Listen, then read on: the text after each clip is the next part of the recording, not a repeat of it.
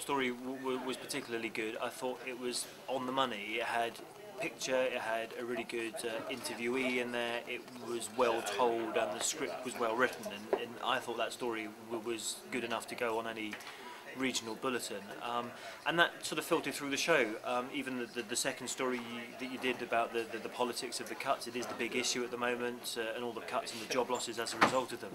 Um, I thought that was a story that, that was born out of another part of your uh, your output, and you were able to get a news line from that and make it into a story. And that's you know that's a sign of coming in the morning saying, God, I've got nothing here, and yet you came up with the goods and, and, and made something of it. I thought the live was really good. Uh, I thought the, the live that you did was, was well told. You've agreed the questions beforehand, and I think that's the key, particularly if you're doing a timed news show as you are. You're not doing endless 24-hour rolling news like, like Sky or, or, BBC News, but you're doing a timed show, and it's quite important, therefore, to know what the questions are going to be, so you can then focus your, your answer.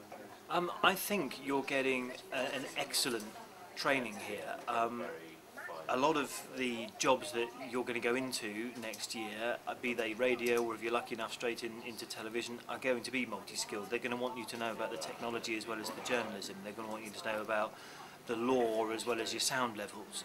Uh, and that's a unique skill and you're getting that here and then you just need to apply that to the industry and step up to industry standards if you like and you're pretty close to doing that. But I think you're getting a really really good training here um, and you've got the right kit, you've got a big studio, you've got you know laptops and Apple Macs and you're doing the editing and you're thinking about your sound. Um, and that's you know it's a, it's a pretty tall order when you ask someone to do that. And so I think you know when you're finding jobs next year you're, you're in a good place. It's just convincing your potential employer that you can do the job to the standard uh, they're looking for. I thought that general election coverage was remarkably uh, ambitious for a, a student setup, for having to do multiple live uh, broadcasts. I thought it was pretty amazing. The, the, the product that you produced, yes, of course, it wasn't on the scale of what, what the BBC or uh, ITV put out that night, but then you don't have the budgets of many millions of pounds that those respective organisations spent on their programmes. I thought it was it was pretty slick. It looked like you were uh, across all the stories. Uh, you were uh, ahead of your game on that one, and um, I was I was really impressed with what you managed to achieve. You know, using cutting edge technology.